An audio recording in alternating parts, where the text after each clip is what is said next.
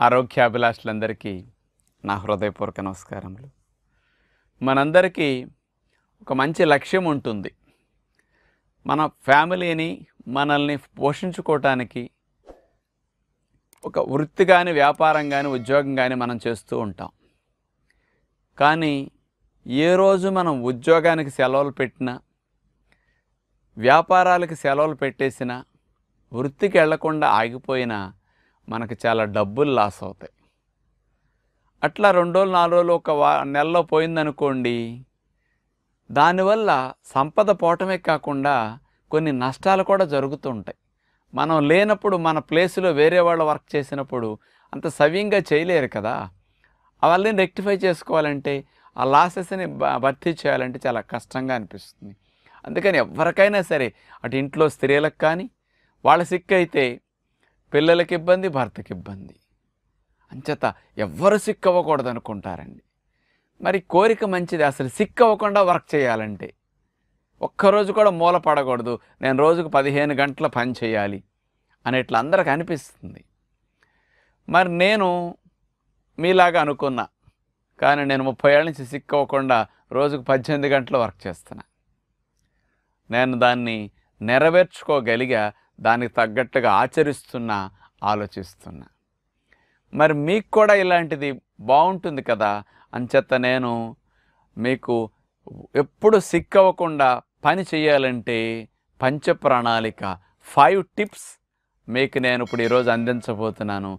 కాస్త ఇలాంటివి మీరు కనుక అమలు చేయగలిగితే మీరు అసలు సంవత్సరంలో సిక్ అవ్వకుండా నాన్ స్టాప్గా వర్క్ చేసుకోవచ్చండి. ఇంత న్యాచురల్ రెమెడీస్ ఉంటాయని మీకు ఎవరికీ తెలియదు ఇప్పుడు నేనేది చెప్పినా అక్షరాల ఆచరించి చెప్తా అన్నీ కూడా నాలాగా కొన్ని లక్షల మంది ఇరవై పాతికేళ్ళ నుంచి ముప్పై ఏళ్ళ నుంచి ఫాలో అయ్యి వాళ్ళంతా నిరూపిస్తున్నారు. ఏదో ఒక రోజు రెండో లేదో కొత్తగా ఈ రోజు వచ్చి నేను చెప్పట్లేదు కదండి. ఏదో నా మా మీదే ట్రైల్ వేస్తున్నాడు ఈయనేదో కబుర్లు చెప్తాడు అనేది లేదు కదా. నేను చెప్పింది ఏదైనా సరే లక్షల మంది వేల మంది ఫాలో అయ్యి ఎగ్జాంపుల్గా కనపడుతుంటారు. ఇది ఒక న్యాచురోపతి సైన్స్. ఐదున్నర సంవత్సరాల మెడికల్ కోర్స్ ఇది. అలాంటి న్యాచురల్ ప్రిన్సిపల్స్ మీకు సిక్ అవ్వకుండా భలే హెల్ప్ చేసాయి. మరి ఐదు టిప్స్ మీకు చెప్తాను. మరి మీరు గనక ఆచరించగలిగితే మీకు బెనిఫిట్ వస్తుంది. మిమ్మల్ని చూసి మా పేరెంట్స్ ఇట్లా హెల్దీగా సిక్ అవ్వకుండా అన్ని కష్టపడుతున్నారు. అన్ని రోజులు మూలపడకుండా ఉంటున్నారు నేనెందుకు అట్లా అవ్వకూడదని వాళ్ళకు కూడా ఇన్స్పిరేషన్గా మీరు అవుతారు. అంచేత పేరెంట్స్గా పెద్దలుగా ముందు మనం మారాలి. అంచేత ప్రతి ఒక్కరికి ఉన్న లక్ష్యం వైపు ముందుకెళ్ళాలంటే మనం సిక్ అవ్వకూడదు. ఇప్పుడు నా లక్ష్యం ఏంటి? నాకు సంపాదన కాదు ఉద్యోగం లేదు వ్యాపారం లేదు ఫ్యామిలీ విషయాలు ఏమీ లేవు నాకు ఇట్లాంటివి. కానీ నేను ఒక్కరోజు సిక్ అయినా మీకు ఉపయోగపడటం పోతుంది. ఎన్నో వీడియోస్ రికార్డ్ చేయటం ఆపుతుంది. ఎంతోమందికి మీటింగ్స్ పబ్లిక్ మీటింగ్స్ ఇవ్వటం ఆగుతుంది. లైవ్ ప్రోగ్రామ్స్ ఆగుతాయి. కానీ నేను ఒక్కరోజు కూడా అలా మీకు ఉపయోగపడకుండా ఉండకూడదని నాకు సిక్ అవ్వకూడదని ఒక లక్ష్యం అన్నమాట. నేను ఇంకా హెల్దీగా సాధన చేసుకోవాలి మీకు ఉపయోగపడాలి. దానికోసం నేను ఫాలో అవుతాను. మీరు మీ కొన్ని లక్ష్యాలు వేరుగా ఉన్నాయి. మీ లక్ష్యం కోసం మీరు సిక్ అవ్వకుండా మీరు ఫాలో అవ్వండి. మరి ఫైవ్ టిప్స్లో ఫస్ట్ టిప్. మీరు అన్నిటికంటే హెల్దీగా ఉండటానికి నెంబర్ వన్ పంచ ప్రణాళికలో మొట్టమొదటి ప్రణాళిక number one tip early dinner సూర్యాస్తమయలోపు భోజనం చేసేసేయండి. నైట్ అస్సలు తినకండి. ఇది అసలు మిమ్మల్ని సిక్ అవ్వకుండా ఎంత రక్షిస్తుందో నేను పదే పదే పదే ఇట్లాంటి విషయాలు ఇన్నిసార్లు అంటున్నాను అనుకోవద్దు. కానీ ఈ ప్రిన్సిపల్ మీరు ఆచరించడం కుదురుతుందంటే కుదురుతుంది కుదరదంటే కుదరదు. మీరు ఎక్కడున్న ఉద్యోగ వ్యాపారాల్లో మొరార్జీ దేశాయ్ ప్రైమ్ మినిస్టర్. మరి ఆయన కుదరలేదా? మనందరికంటే గాంధీ గారు ఏమన్నా కాస్త పని తక్కువతో ఖాళీగా ఉన్నారండి? గాంధీ గారు అంత బిజీగా ఉన్న వ్యక్తి ఈ దేశంలో ప్రపంచంలో ఎవరు నుండుంటారు అసలు? ఇరవై ఇరవై ఒక్క గంటలు ఇరవై రెండు గంటలు కష్టపడ్డారు దేశం కోసం. ఆయన డిన్నర్ ఫైవ్కి తిన్నారండి గాంధీ గారు. ముప్పై ఏళ్ళ పాటు స్వతంత్రం పోరాటంలో ఉన్నప్పటి నుంచి ముప్పై ఏళ్ళ పాటు ఆయన స్ట్రిక్ట్గా ఎర్లీ డిన్నర్ ఫాలో అయ్యారు. మీరు అనుకుంటే ఎందుకు చేయలేరండి? పట్టుకెళ్ళండి. ఫైవ్ కల్లా సిక్స్ కల్లా డిన్నర్ తినేయాలని పెట్టేసుకోండి.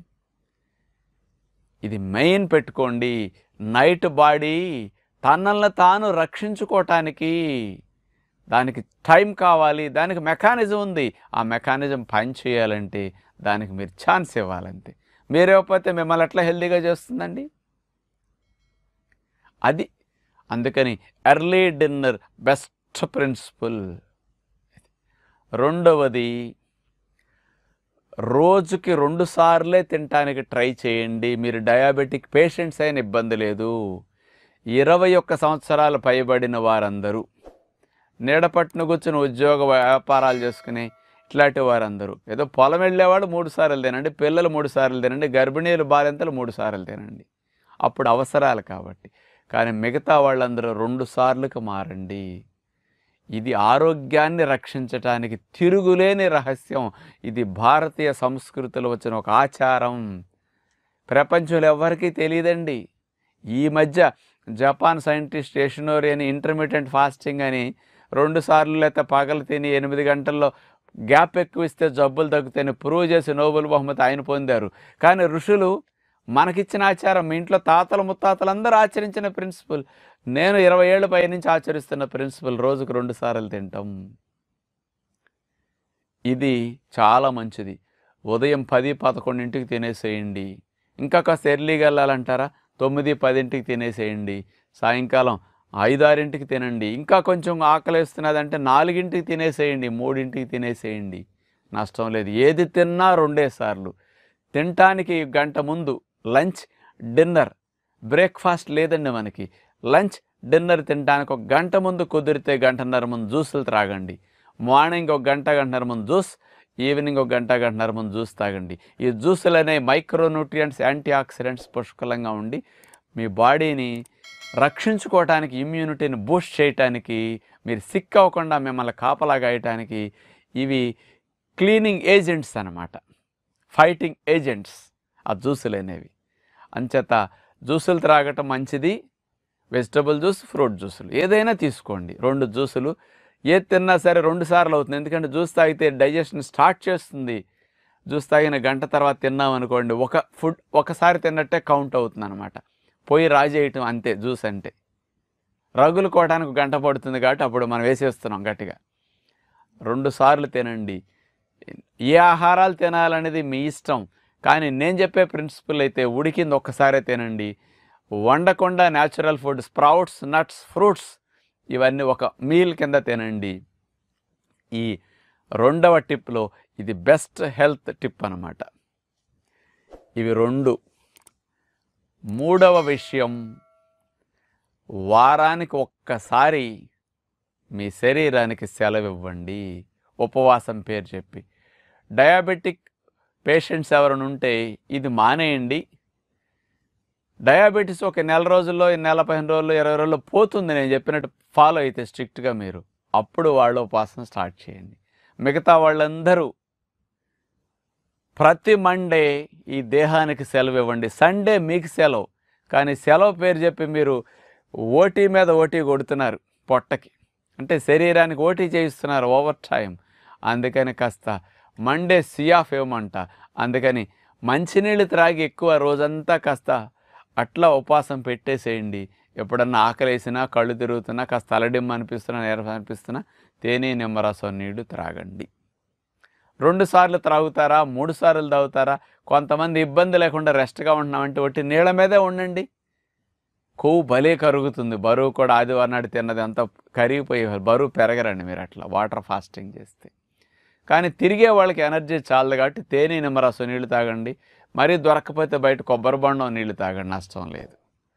కానీ రెండు సార్లు మూడు సార్లు నాలుగు సార్లు తేనె నీళ్ళు తాగొచ్చు మీరు.